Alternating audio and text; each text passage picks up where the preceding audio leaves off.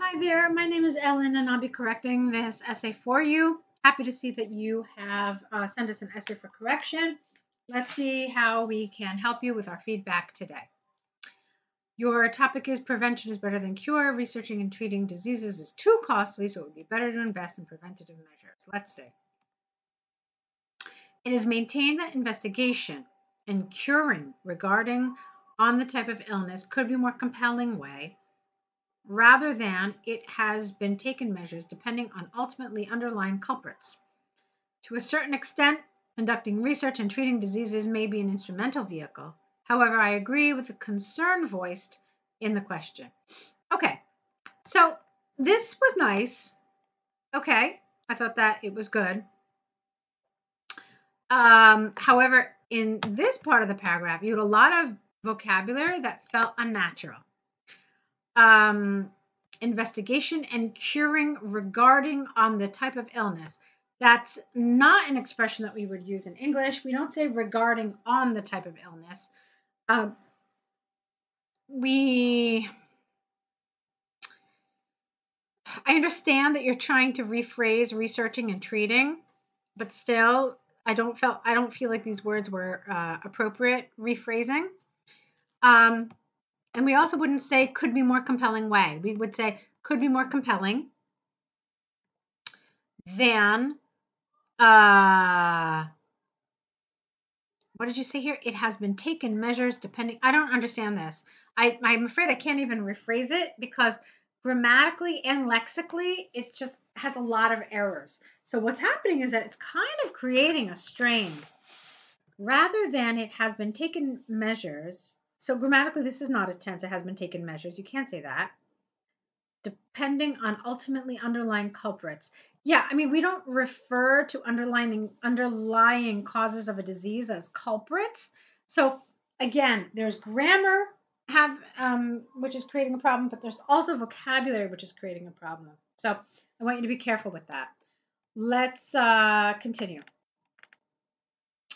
On the one hand, although studying and working towards a solution by determining remedies can be exorbitant, mm, can be an exorbitant and long-term procedure.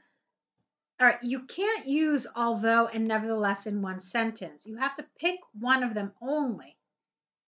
So, although studying and working towards a solution by determining remedies can be exorbitant Okay, an exorbitant and long term procedure.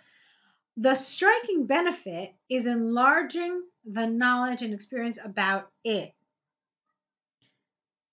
All right. Uh, I don't like enlarging the knowledge.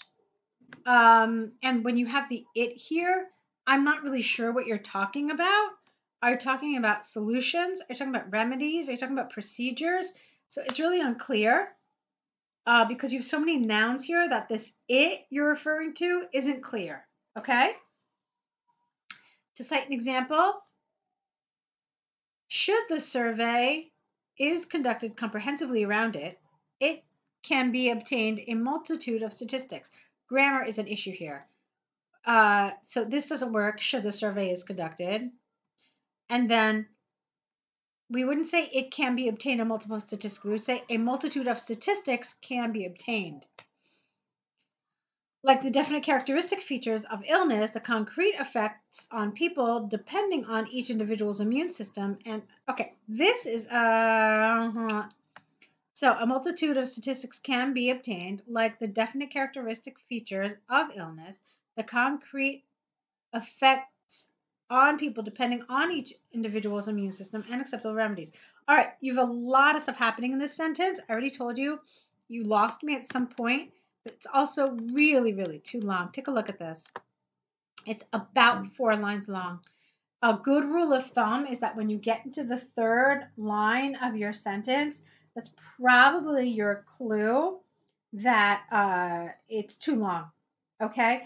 Um, it's very easy to begin making mistakes when you have sentences so long, and it's very easy to um, to lose your reader. Okay, so please be careful about this.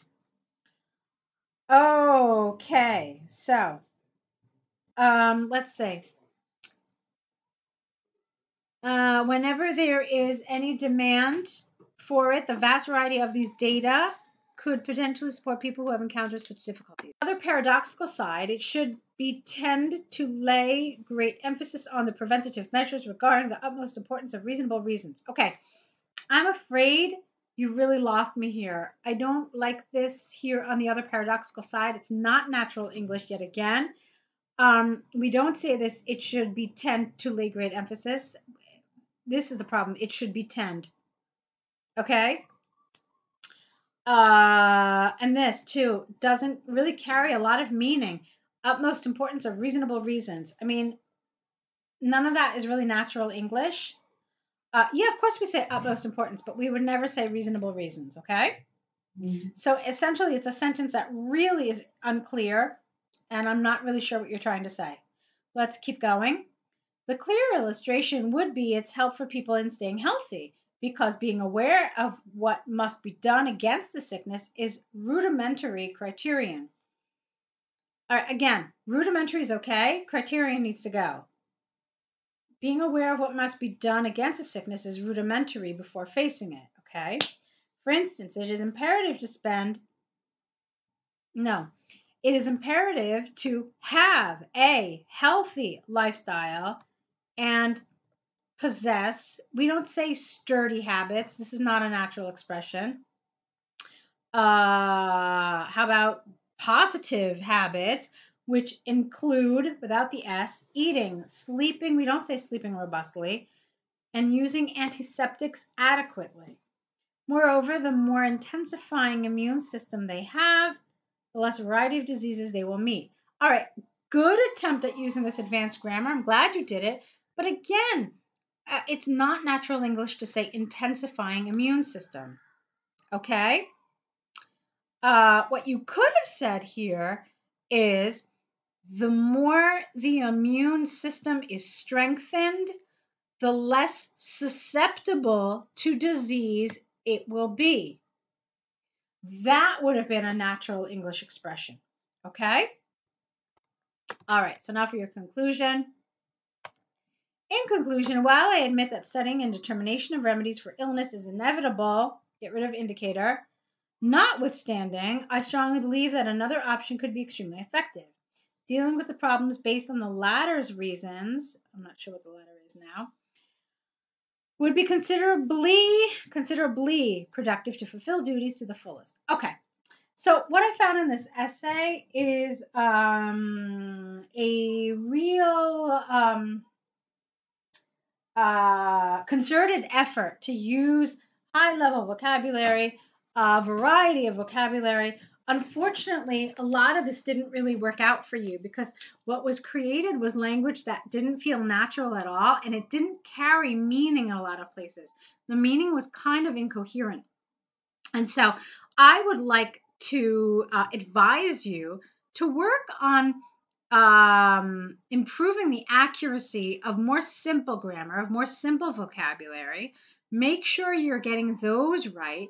And then as you progress, move on to maybe some of this more uh, advanced kind of language. Okay. So you need to uh, simplify a little bit and get that right first. Okay.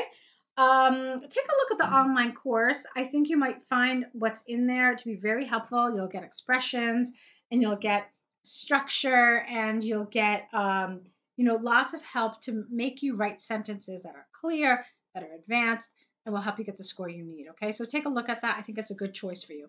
So thanks for sending this in and i want to wish you tons of luck